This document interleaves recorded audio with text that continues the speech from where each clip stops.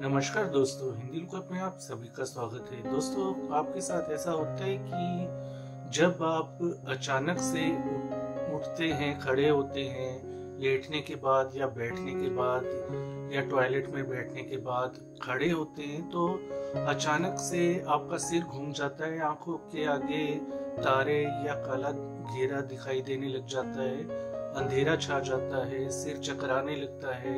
ऐसा लगता है आप बेहोश हो जाओगे, गिर जाओगे। ऐसा यदि होता है तो इसके पीछे दोस्तों कई कारण जिम्मेदार होते हैं। दोस्तों, चक्कर आना, सिर घूम जाना, सिर का हल्कापन होना या आँखों के आगे खड़े होने पर अंधेरा छाना ये सभी दोस्तों शिकायतें वो लोग ज़्यादा करते हैं जो टॉयलेट में ज़ोर लगाते हैं, उनका सिर घूम जाता है या कोई भारी वस्तु उठा ली जिम के अंदर भारी वेट उठा लिया। तो ऐसे में उनको अचानक से जब वो सीधे होते हैं तो चक्कर से आने लगते हैं उनको और आँखों के आगे अंधेरा छाने लगता है। इसी प्रकार टॉयलेट करके उठने पर भी ऐसा ज़्यादा होता है और ऐसी मतलब चीज़ों में ज़्यादा ये चक्कर आने की शिकायत महसूस होती है, जिसमें कि आपको ज़ोर लगाना पड़े। तो अंग्रेज़ी भाषा में इस समस्या को जो बैठ के लेटने के बाद उठने पर चक्कर आने की शिकायत होती है, इसको अंग्रेज़ी में, इंग्लिश में लाइट हेडेडनेस की समस्या कहा जाता है। जिसमें कि आप लेट कर उठते हैं तो आपका सिर चकराने लगता है। ऐसा कुछ सेकंड के लिए होता है, लेकिन आप, ऐसा लगता है कि गिर जाएँगे। कभी कभी तो गिर भी जाते हैं लोग, और किसी कभी कभी दीवार का या किसी वस्तु का सहारा लेना पड़ता है उनको अपने आप को एक, एकदम स्टेबल करने के लिए। दोस्तों, सबसे पहले ये जान लीजिए कि लाइट हेडेडनेस आखिर है क्या? लाइट हेडेडनेस एक लक्षण मात्र है, जिसमें आपको यूँ लगता है कि आपका सिर खाली हो गया है, सिर में हल्कापन आ गया है, और आप बेहोश होने लगे हैं। तो लाइट हेडेडनेस एक लक्षण है, जो कि दवाई के साइड इफ़ेक्ट के कारण भी हो सकता है वीकनेस के कारण हो सकता है, सर्दी, जुकाम जब ठीक होते हैं, उसके बाद हो सकता है जो लोग शराब पीते हैं, शराब एकदम से छोड़ते हैं, उसके कुछ दिनों तक ऐसा ही चलता है उनके साथ लाइट हेडेडनेस की समस्या। हमने बताया कि लाइट हेडेडनेस जो है, वो एक लक्षण है। तो ऐसे में ये किसी अंदरूनी बीमारी का भी लक्षण हो सकता है या संकेत हो सकता है। दोस्तों, क्योंकि ये एक लक्षण है, इसमें आपका संतुलन बिगड़ जाता है, आपको गिरने का खतरा रहता है तो ऐसी स्थिति में आपको कुछ बातों का ध्यान विशेष रूप से रखना चाहिए। दोस्तों लाइट हेडेडनेस आखिर होता क्यों है? ये इसलिए होता है कि जब आप बैठकर या लेटकर या ज़ोर लगाते हैं किसी चीज़ को उठाने के लिए तो ऐसे में आपके दिमाग के अंदर खून का दौरा कम हो जाता है। आपका ब्लड प्रेशर जो है वो लो हो जाता है, जिसके कारण आपको अचानक से एकदम से चक्कर आने की शिकायत होती है, सिर घूम जाने की शिकायत होती है, आँखों के आगे अंधेरा छाने की शिकायत होती है। जैसा हमने बताया था कि लाइट हेडेडनेस के कारण बहुत सारे हो सकते हैं तो यदि आप बहुत कम नींद लेते हैं तो भी ये हो सकता है, बहुत कम ना जो लोग, माफ़ कीजिए, जो लोग कम सोते हैं, उनके साथ भी ये बहुत ज़्यादा होता है। इसके अलावा, जो लोग तंबाकू, बीड़ी, सिगरेट, गुटखा आदि का सेवन करते हैं, उनके साथ भी ऐसा बहुत ज़्यादा होता है। दोस्तों इस समस्या से छुटकारा पाने का सबसे पहला उपाय या तरीका ये होता है कि आपको जहाँ पर आप को चक्कर आए हैं तो उस जगह पर पर आपको बैठ जाना चाहिए। थोड़ी देर तक अपने नॉर्मल अपने आप को नॉर्मल हो, होने देना चाहिए। दोस्तों लाइट हेडेडनेस के साथ कुछ लोगों को संतुलन बनाने में परेशानी यानी कि वर्टिगो की समस्या भी हो सकती है। वर्टाइगो या वर्टिगो यानी कि बहुत ज़्यादा चक्कर आना, संतुलन ना बना पाना। दोस्तों लाइट हेडेडनेस में यदि आपको ज़रूरत से ज़्यादा चक्कर आ रहे हैं, खड़ा होने पर ऐसा होता है, उठने पर आपके साथ ऐसा होता है, अचानक खड़े होने पर आपका सिर चकरा जाता है, चक्कर आ जाते हैं, आपको तेज। तो ऐसे में गिरने की बहुत ज़्यादा संभावना होती है आपके कहीं भी शरीर पर चोट हो लग सकती है, फ्रैक्चर हो सकता है, हड्डी टूट सकती है। दोस्तों, उन कारणों के बारे में चर्चा करते हैं जिनके कारण ये समस्या लाइट हेडेडनेस की जो समस्या है, वो जन्म लेती है। तो सबसे पहला कारण होता है शरीर में पानी की कमी होना, किसी प्रकार की एलर्जी होना, हवाई जहाज़ जहाज़ के अंदर आप सफ़र कर रहे हैं, तब आपके साथ ऐसा हो सकता है जुकाम या सर्दी जुकाम के ठीक होने के बाद या जुकाम के दौरान आपके साथ ऐसा हो सकता है, बुखार ठीक होने के बाद ऐसा हो सकता है, आपके शुगर लेवल या ब्लड प्रेशर गिरने के कारण ऐसा हो सकता है। शराब आदि का सेवन करते हैं, जर्दा, गुटखा, बीड़ी, सिगरेट, जो भी यदि आप नशा करते हैं तो आपके साथ बहुत ज़्यादा होगा। ये बात आप नोट कर लीजिए। इसके अलावा दस्त या उल्टी की शिकायत जिन लोगों को होती है, डायरिया की किसी भी कारण से, चाहे पेट में इन्फेक्शन हो या उल्टियाँ चल रही हो, पेट में इन्फेक्शन के कारण या किसी अन्य कारण से फ़ूड पॉइजनिंग से तो उनके साथ ऐसा ज़्यादा होता है। शरीर में पानी की कमी हो जाए तो तो भी ऐसा होता है। डिहाइड्रेशन होने पर लोगों के साथ तब होता है जब वो किसी चीज़ को जैसे बलून बलून को फुलाते हैं तो तेज से फूकने पर भी उनका सिर घूम जाता है। आप भी करके देख सकते हैं। यदि आपके साथ ऐसा होता है तो आपको ध्यान रखना चाहिए। चिंता तनाव मानसिक तनाव चिंता और एंजाइटी डिप्रेशन की शिकायत जिन लोगों को होती है उनके साथ ऐसा होता है। उन, उनकी द, जो दवाइयाँ चलती हैं ऐसे लोगों की जिनकी डिप्रेशन एंजाइटी की दवाई चलती है तो उसके साइड इफ़ेक्ट के कारण भी ऐसा होता है।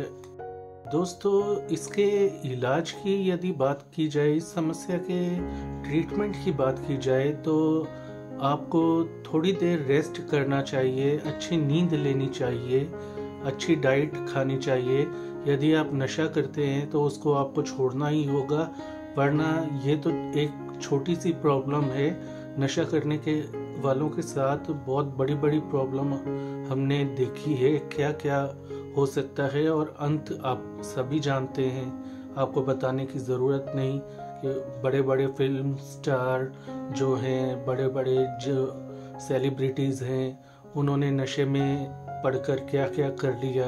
आप खुद जानते हैं, अच्छे पढ़ने लिखने वाले स्टूडेंट क्या कर जाते हैं, आप जानते हैं।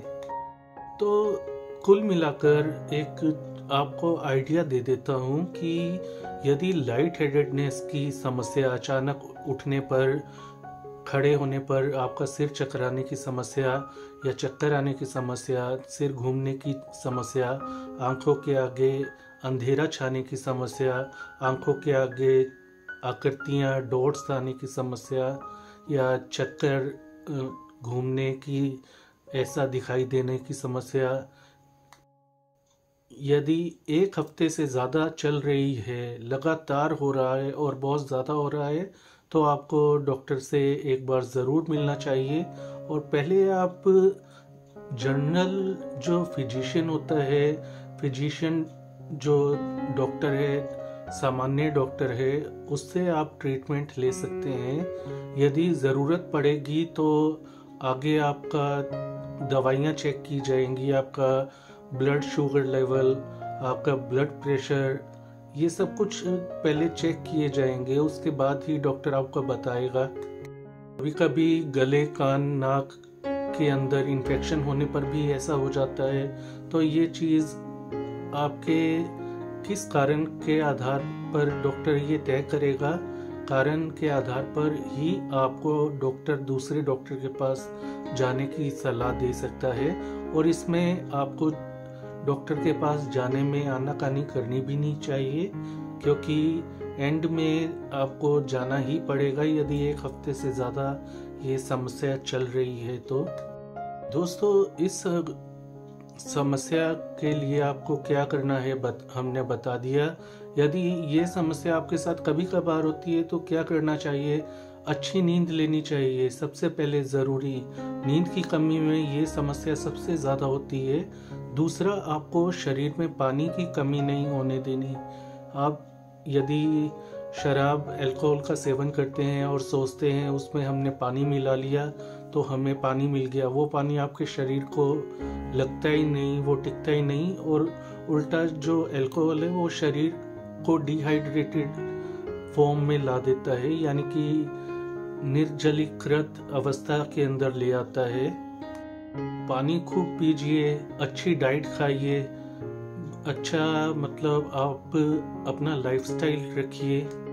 कुछ लोग होते हैं जो किसी कारण से, जैसे कि उनकी उल्टियाँ हैं, उनको प्रेगनेंसी है, या प्रेग्नेंट कोई औरत है उनको ऐसी समस्या होना भी होता है, काफ़ी देखने में आता है। तो वो जाकर हॉस्पिटल में डॉक्टर से सलाह ले सकती हैं, ग्लूकोज की ड्रिप चढ़वा सकती हैं, उससे उनके शरीर को पानी भी मिल जाएगा, ग्लूकोज भी मिल जाएगा, ऊर्जा भी मिल जाएगी। शरीर में जब उल्टी दस्त ज़्यादा हो जाए तो ये समस्या बढ़ जाती है। तो ऐसे में आपको इलेक्ट्रोलाइट युक्त जो है पाउडर दिया जाता है, जैसे इलेक्ट्रल पाउडर ओआरएस आदि। कई नाम और हैं। आप जाकर डॉक्टर से एक बार मिलकर पूछ सकते हैं। यदि आपकी शुगर कम है तो आपको डॉक्टर शुगर की दवाई देगा या मीठा खाने की सलाह देगा। घरेलू उपाय की बात और अगर आगे बढ़ाएँ तो आप भारी वज़न उठाने से परहेज करें। वज़न धीरे धीरे बढ़ाएँ धीरे धीरे उठाएँ। यदि आप जिम जाते हैं और अचानक उठने से, अचानक से झटके से खड़े होकर, खड़े होने से परहेज रखें। आपको यदि ये समस्या है तो आपको धीरे धीरे ही खड़े होना चाहिए, उठना, बैठना चाहिए। मल त्याग के समय या लेटरिन या पोटी करते समय ज़रूरत से ज़्यादा स्ट्रेस ना दें, ज़ोर ना लगाएँ।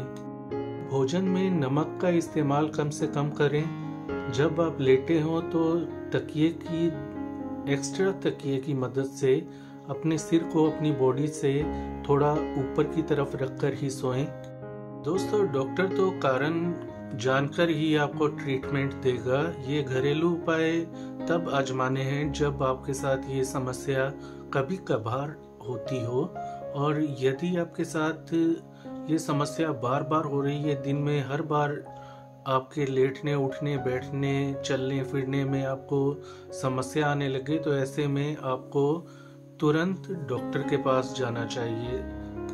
तो यदि आपको गर्मियों में रहना पड़ रहा है या गर्मी के दिनों में, दोस्तों, यदि गर्मियाँ चल रही हैं आप बहुत ज़्यादा दौड़ धूप वाला काम करते हैं या गर्म जगह पर फैक्ट्री आदि में काम करते हैं तो आपको नियमित रूप से ज़्यादा से ज़्यादा पानी पीते रहना चाहिए ताकि शरीर में पानी की कमी ना हो पाए।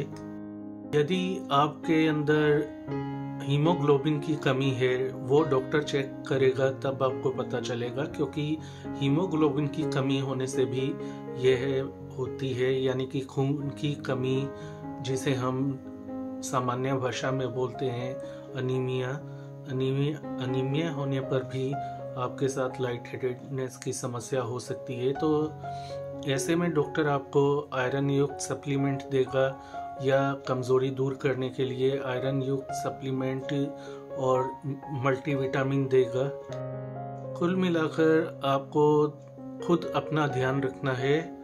और कभी कभार होता है, ये सबके साथ हो सकता है, हर किसी के साथ हो सकता है, कभी ना कभी जीवन में। कभी भी बच्चे हों, बड़े हों, बुज़ुर्ग हों या जवान हों, किसी के साथ भी, मेरे खुद के साथ, हमारे साथ भी हो चुका है। आमतौर पर इन्फेक्शन आदि, कान की इन्फेक्शन सर्दी, जुकाम, बुखार के बाद ऐसा होना या उसके दौरान ऐसा होना, ये हो जाता है नॉर्मल बात है। इसमें घबराने की या बहुत ज़्यादा चिंता करने की आवश्यकता नहीं है। यदि आपको बहुत ज़्यादा मानसिक तनाव है डिप्रेशन है एंजाइटी है तो आप डॉक्टर से ज़रूर मिलें, क्योंकि ऐसे लोगों के साथ ये समस्या ज़्यादा होती है। खासकर इसके पीछे कई कारण है। इस, ये वीडियो बहुत लंबा हो जाएगा। तो यदि आपके साथ ये समस्या है डिप्रेशन एंजाइटी की तो डॉक्टर से ज़रूर मिलें और सही दवाई लें। यदि आप दवाई ले रहे हैं तो हो सकता है बहुत ज़्यादा पॉसिबल है कि उन दवाइयों के साइड इफ़ेक्ट के कारण ऐसा होना, क्योंकि वो दवाइयाँ होती ही इस प्रवृत्ति की हैं।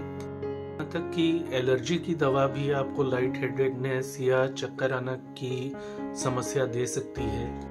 ये समस्या आपके साथ ज़्यादा हो रही है तो मेरी पर्सनल एक गुजारिश है आपसे कि आप ड्राइव ना करें मोटर व्हीकल जो भी है व्हीकल आपके पास, चाहे स्कूटी स्कूटर बाइक कार आदि का मतलब आपको ड्राइविंग नहीं करनी है। इस समस्या, ये जब तक समस्या चलती है उसके दौरान कभी भी किसी के साथ भी ऐसा हो सकता है कि कभी भी उनको चक्कर आ जाए वर्टाइगो की या वर्टिगो की समस्या हो जाए। ज़्यादा से ज़्यादा पानी पीजिए, ज़्यादा से ज़्यादा रेस्ट लीजिए, ज़्यादा से ज़्यादा अपना लाइफस्टाइल बेहतर बनाने की कोशिश कीजिए और कम से कम नशा कीजिए या नशे को बिल्कुल ही छोड़ दीजिए। धीरे धीरे होते ये हमें, हम भी जानते हैं छोड़ना मुश्किल होगा आपके लिए शायद, लेकिन धीरे धीरे आप कोशिश करेंगे तो जीत पालेंगे। तो दोस्तों, आज आपने जाना कि खड़े होने पर अचानक से उठकर या उठने पर सॉरी ऐसा जब आप करते हैं तो चक्कर आने के पीछे क्या कारण होते हैं? सिर चकराने, आँखों के आगे अंधेरा छाने के क्या कारण होते हैं? लक्षण क्या हैं? इलाज के ऑप्शन क्या हैं? तो आज के लिए इतना ही। इस वीडियो को लाइक करें, शेयर करें, चैनल को सब्सक्राइब करें, अपना ख्याल रखें। धन्यवाद।